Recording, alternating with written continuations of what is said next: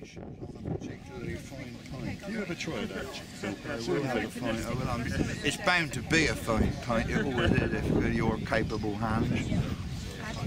That's why I get trouble between them. All right, how you doing? It's actually That's why I'm always doing it. Once you've not too bad, is it? How's it? It? It's quite drinkable, isn't it? I think it is very drinkable. You pleased with it? Well, I think it's turned out just really how we were aiming it. I mean, have you ever made any anything like this before? No, no, not at all. Yeah, yeah, well, it's, it's, it's some of the work. Not at all.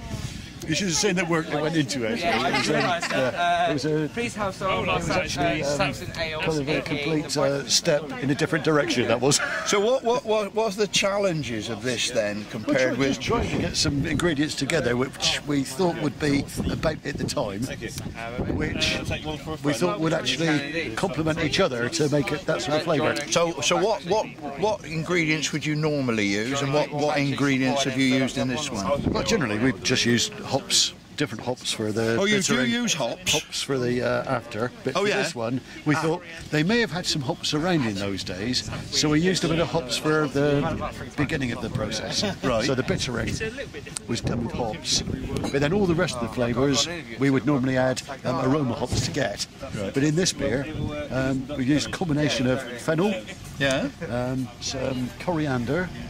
Um, we've got some uh, some cloves, not cloves. Um, so I think it was cumin. There was some black cumin that um, we got hold of, and uh, the whole whole effort gives you a kind of spicy flavour, but it's um, it's rounded, isn't it? But yeah, and, it- and these are things that you reckon they would have had in the Saxon period. Yeah, definitely. Yeah, in doing a bit of research on things that would have been around at the time. Yes. Thank you very much.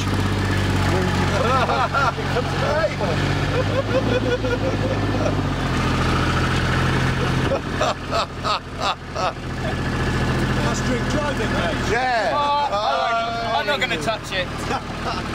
He's driving, I'm drinking.